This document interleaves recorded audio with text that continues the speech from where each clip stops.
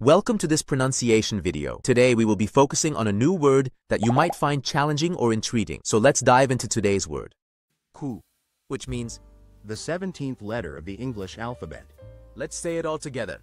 Ku. Ku.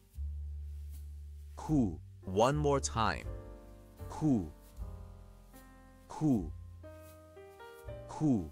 Thank you for joining us on this adventure in pronunciation. Remember, language is a journey, not a destination. Keep exploring, experimenting, and expanding your linguistic horizons. We'll see you next time.